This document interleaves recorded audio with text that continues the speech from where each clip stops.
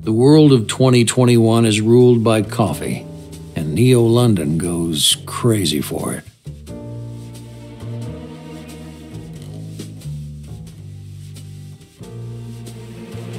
They say that in this job only two cases matter the one that breaks you and the one that makes you. Makes you a real cop. I'm Arthur Oliver, and I'm a private investigator. But I used to be a cop here Neo London. I quit 10 years ago. I failed. I hoped I'd never come back here. I read about Richard Kersey's disappearance in the papers on a train journey. Coffee tycoon vanishes, the front page headline of the Neo London Espresso screamed. For many, Kersey was a wealthy celebrity buffoon, pure envy. They lost contracts and profits to him. They even lost their reputations as he dragged competitors through the courts. And me, I lost a lot more to him. Catherine, my beloved, and his wife. Ten years ago, Richard was involved in a spot of bother. He had a debt. Unfortunately for him, it was Kath who received the demands for payment. Kersey happened to be abroad at the time, totally out of reach. She got scared and tried sorting it out herself. In cash. She asked me for help. Couldn't do it in my official capacity, took my gun and set up a sting. It ended tragically.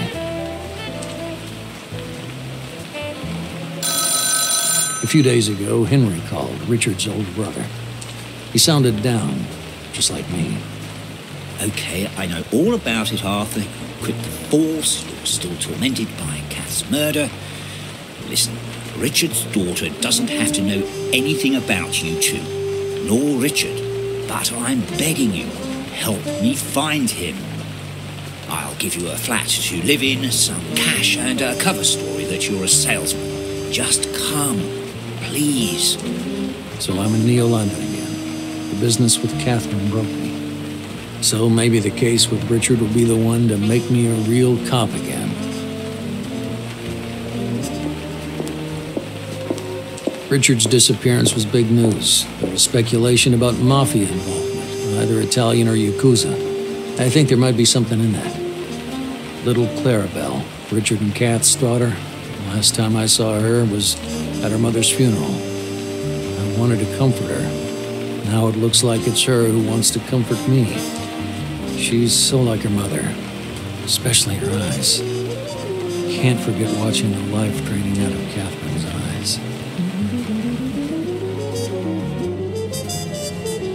On the way to the hotel, Clarabelle told me her father might have been kidnapped by an angry competitor. It's a possibility. Kersey did all sorts of weird deals with even weirder people. Maybe one of them had enough of Richard's caprices.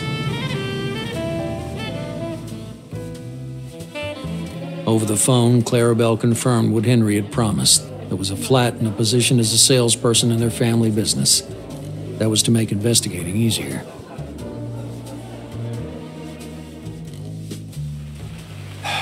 Fair enough. Let it be. If that's what the investigation demands, I'll become the best damn salesperson in Neo London. I'll help Clarabelle with her business. I'll find Richard. I'll find your killer, Kath. I won't let you down twice. Promise.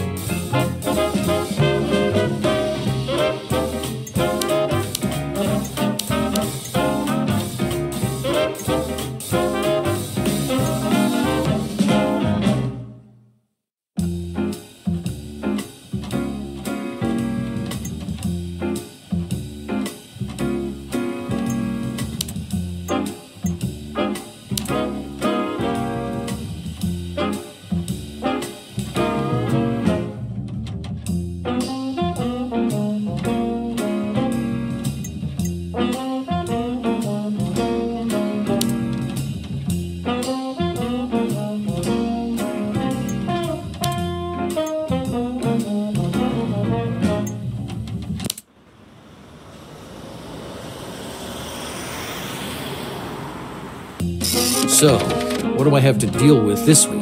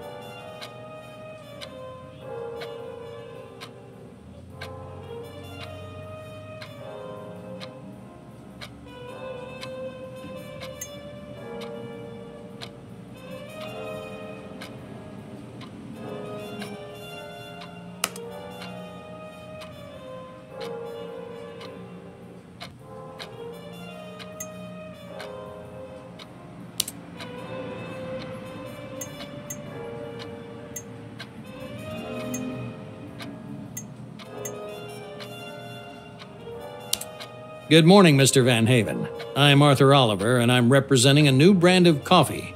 We're called. Please don't go on. Let me speak. It's the new Kersey coffee brand, am I right? Ha! Of course, I heard. I heard. Welcome to my humble little business, Mr. Oliver. How can I help you? Thank you. Can I just say, I think we can help each other, but all in good time. I'm here about the excellent range of Foxy Hills coffees. Is that your work? In a word, yes. I buy coffee that I like myself, and it provides me with the cigars which I also like. An ideal arrangement, wouldn't you say? I would agree. If your premium range included our classic strong black coffee, Espresso Standard. At the right price, of course. After all, we wouldn't want you to go without good cigars. You've got me there.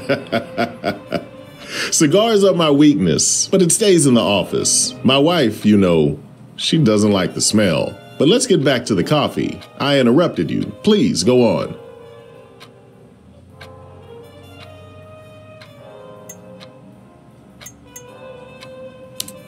Nice photo.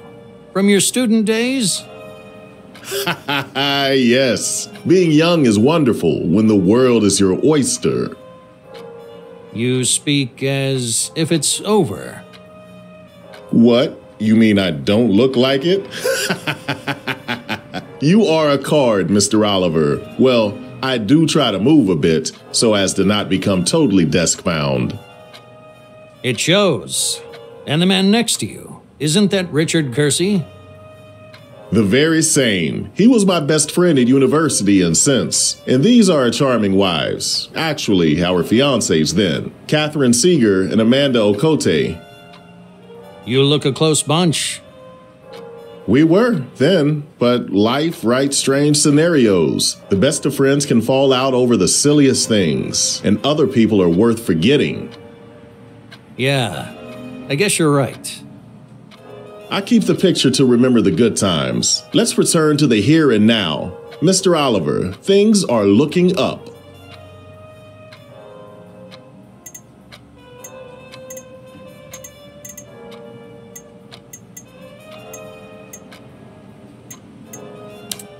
I heard you graduated from the London School of Economics. Ah, good times. Young, confident, sure of yourself. it was tough at times, but what do you expect from the best academy in the country? We shared a room in the dorms with Richard. Soon after, I met Amanda, my wife. Richard's future wife introduced us. Then everything started falling into place. Obviously, only up till the Kersey's tragedy, which hit me and my wife hard. That's the past, though. There's nothing there for us now. Let's move on.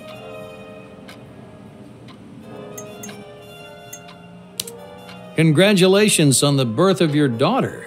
I hope both the mother and baby are doing well.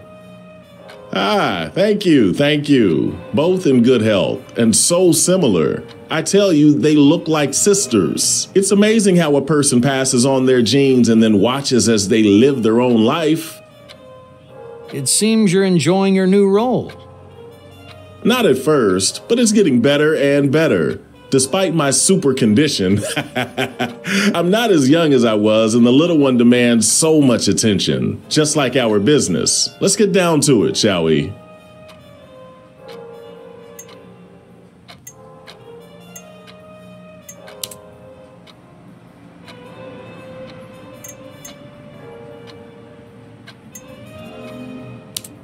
We're new on the market, but we have a lot of experience in the field. We have a unique variety of coffee, trusted suppliers, and top quality equipment. We offer excellent quality at a good price. Miss Clarabelle has already dealt with us, and she's sure not to sell you a pup. That's great. Quality is my top priority, and that's what I taught Clarabelle, so. It's a recommendation of sorts. And if we're talking about quality, my wife bought me a cigar not long ago. Came in a carved wooden box, well known brand, and the aroma aromatic tobacco like from the top drawer. Like. like it got chucked in there by accident? Precisely. It was filthy. After smoking it, I felt so nauseous, I spat it into the bin. I opened all the office windows and even had to use air freshener, so it's best if we both assess the quality. It's hard to find these days.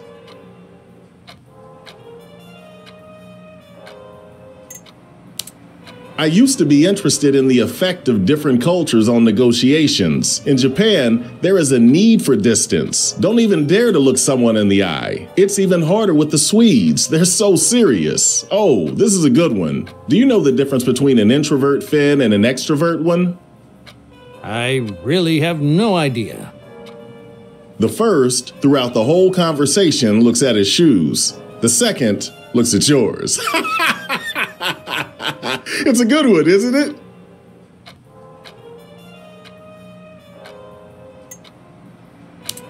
Well, you can learn so much from visiting a client. But anyway, to get back to the aim of my visit, can we discuss the deal? But of course, I was rambling, but you have to admit, it's a fascinating aspect of business.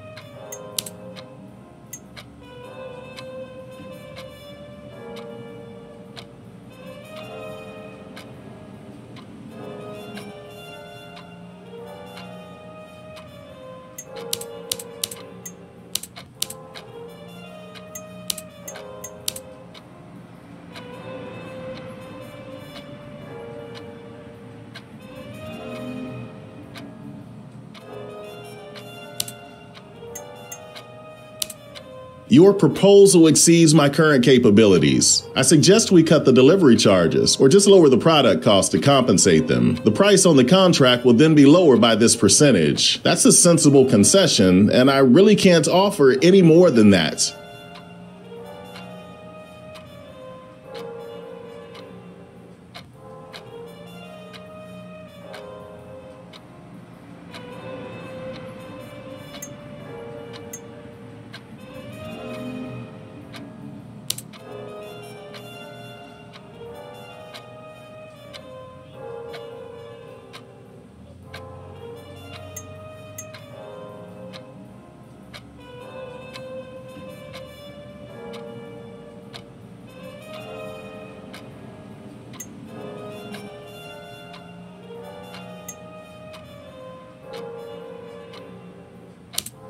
That's a large concession, I admit.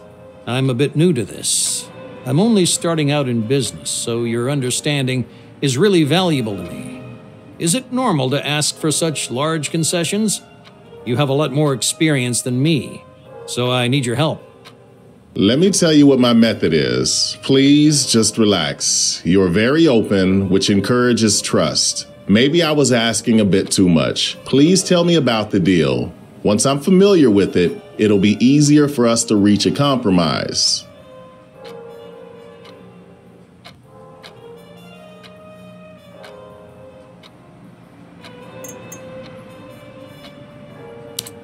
Not to mince any words, advice like that shows a true businessman. Thank you very much. If we can turn to the product, it's an excellent coffee, ground to your specifications with every care taken to retain the aroma. And we're offering an exceptional price to our first partners. For similar quality, you'll pay much more anywhere else. Do you think so? The price seems high to me. Would you consider half the initial discount?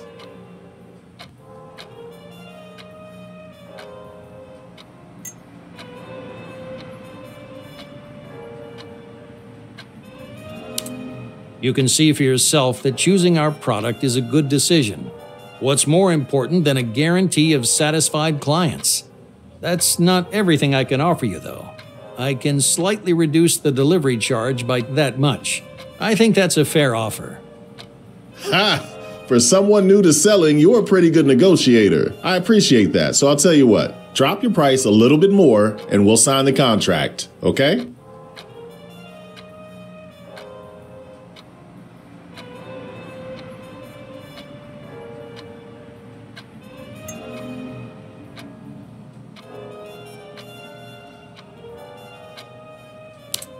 Hmm.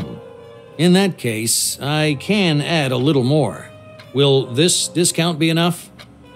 Okay, I agree. You worked me hard, but I think the prospects for collaboration look interesting. Let's sum up what we've established and sign the forms.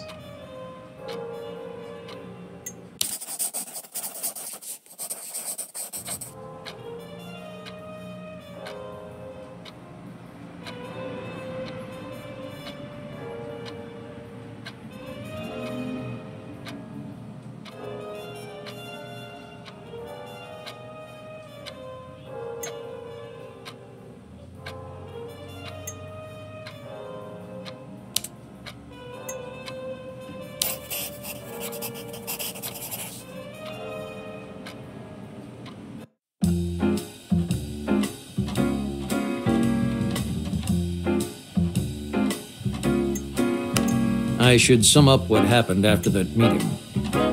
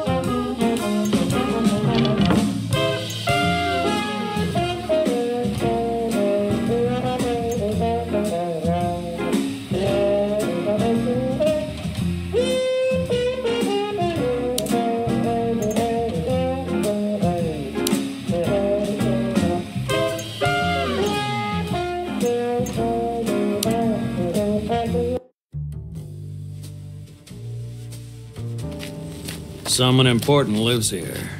That's what the Kersey home seemed to be saying. This is where the investigation begins.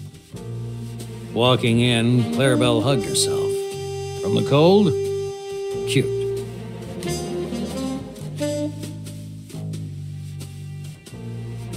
Clarabelle only slept here, though. After her mother's death, she was taken in by Joseph Van Haven, her father's friend, who treated her like his own daughter. His wife tried. Mostly, though, she left her to the housekeeper, Mrs. Fink. Why did the Van Havens raise the Kersey kid? A friendly favor? Guilt.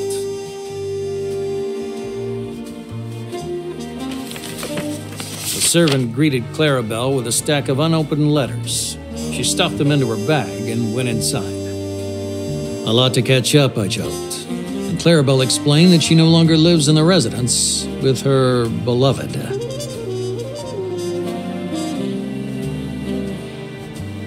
I asked for a family photo of the Kerseys. There was an exotic looking guy in the midst of a sea of pale Brits. Mr. Gabriel was an artist who taught Clarabelle to draw. He looked pretty stiff, probably trying to avoid her dreamy eyes.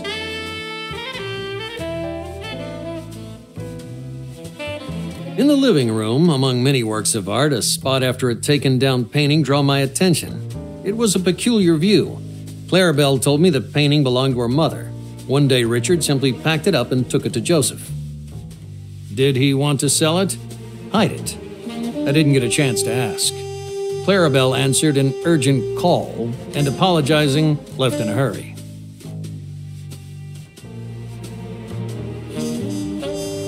I went to gather my thoughts. Catherine's death, Richard's disappearance, the unusual arrangements with the Van Havens, that picture. Clarabelle was right. A detective was needed here. But I have my own reason for this to get Catherine's killer.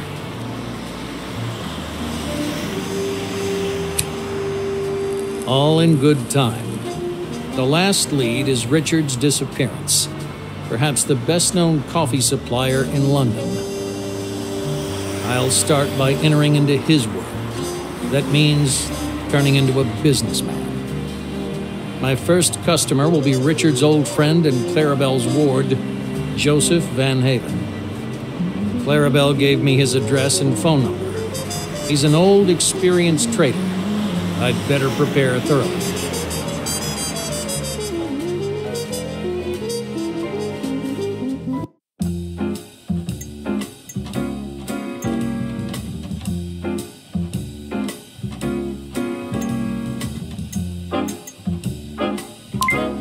Need to set the new clues and data on the board.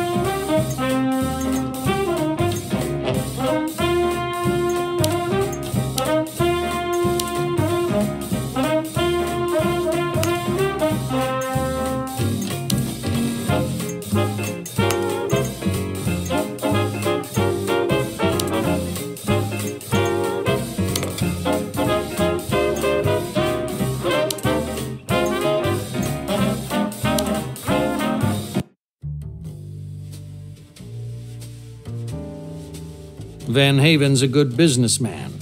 He welcomed me like an old friend and led me past the pictures. Clients were supposed to see signs of Joseph's education and worth. But me? I spotted a young, cocky Richard with my Catherine. She had no idea what she had coming. The other woman was Amanda Van Haven. It must have been through their being two young married couples at the same time that Richard and Joseph became such close buddies. Joseph watched as I examined the photos. He smiled, apparently at the memories. He'd played this scene out hundreds of times. He told the story of what a close bunch they were, until the girls fell out over a trifle. What trifle? It's not even worth mentioning, nor anyone else, he added. Was he talking about the third woman in the picture?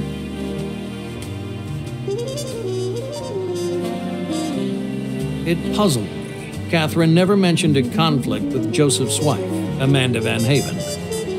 And I never asked. I was, hmm, too busy falling in love with Cat. What trifle broke their long term friendship? I wanted to ask after the negotiations.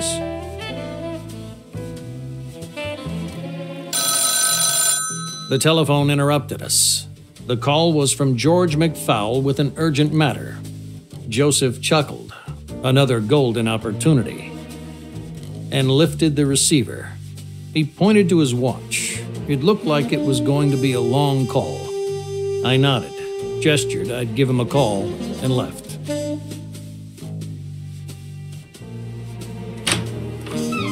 It wasn't a good meeting. Van Haven kept talking right over me. On purpose? Or was he taking pity on me? Am I really that bad a salesperson? Regardless, he didn't tell me anything new about Richard's disappearance. At least he bought some coffee, though.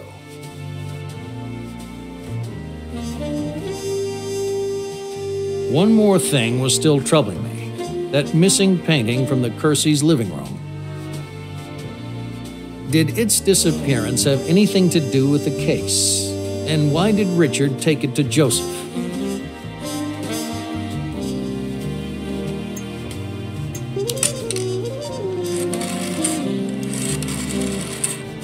Clarabelle might know the answers. I rang and asked her. She thought the painting was a memento from the founder of the family, Shallard Kersey, 18th century. Why did it get sent to Joseph? She didn't know.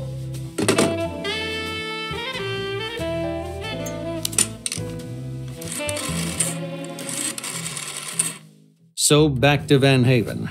I called, pretending to be the Kersey's lawyer. Mr. Van Haven.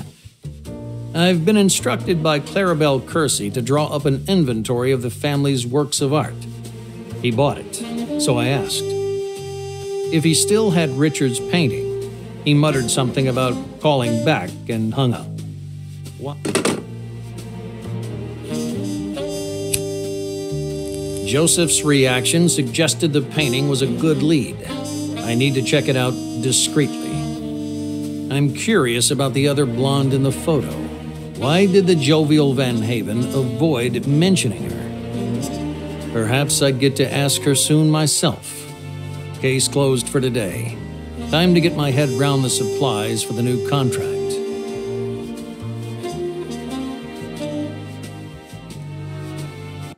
I need to check the investigation board.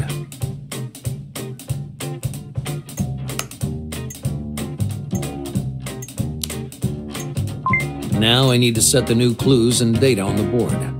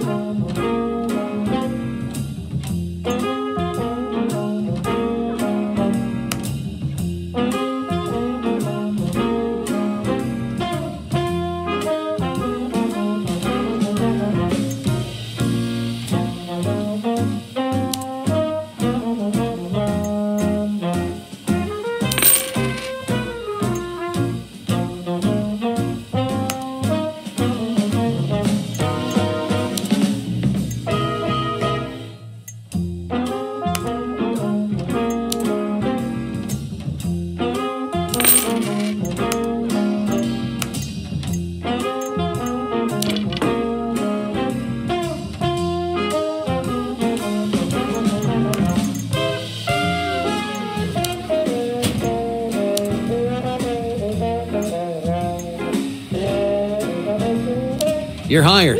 Welcome aboard.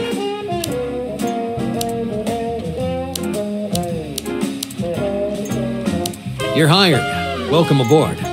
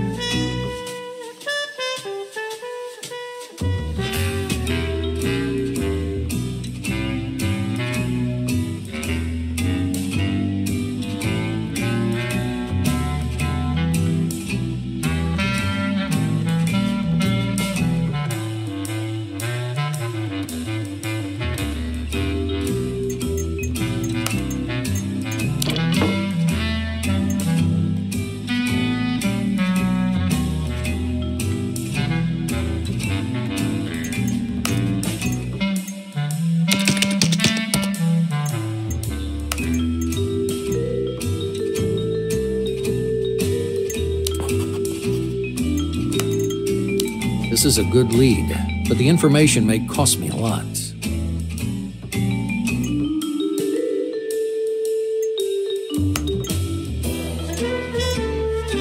I think that's all I've got for now. Let's see if there are any connections.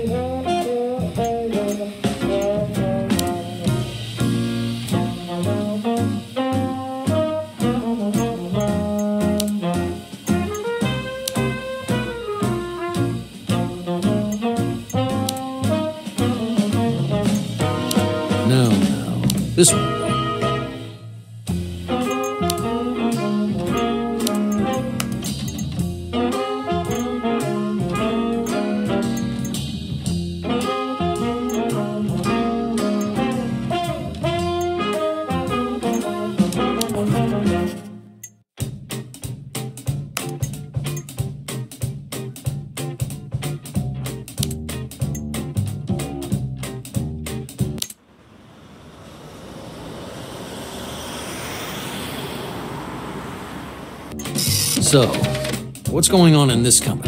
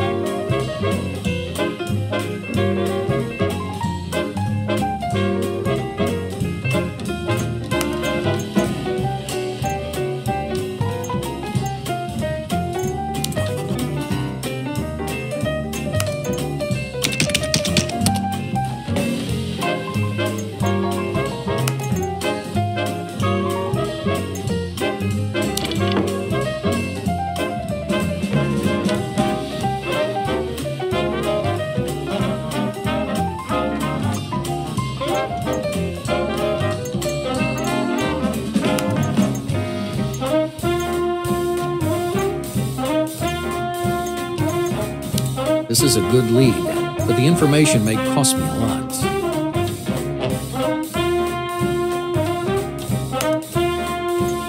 This is a good lead, but the information may cost me a lot.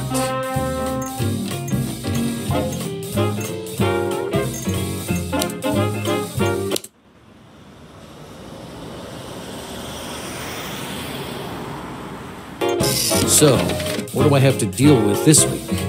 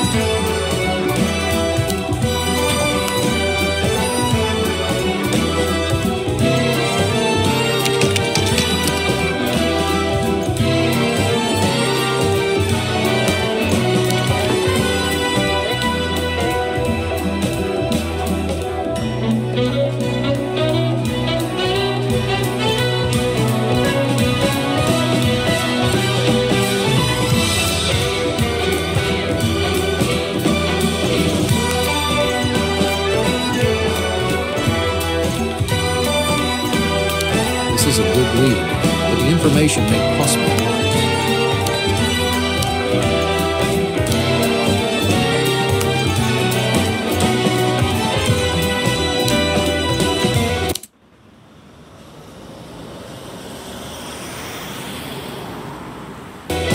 Another report. Hope there's some good news.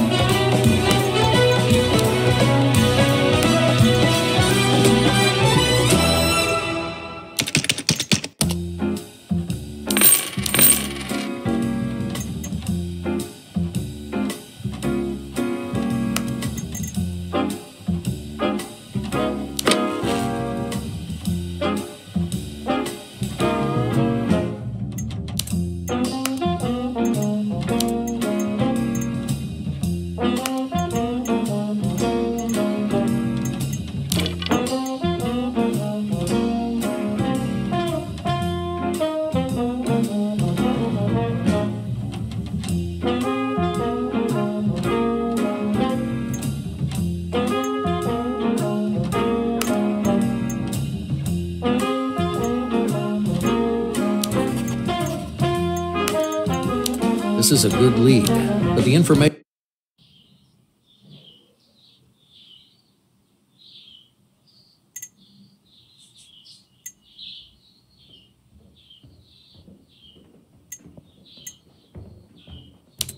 Good morning, Mrs. Fink.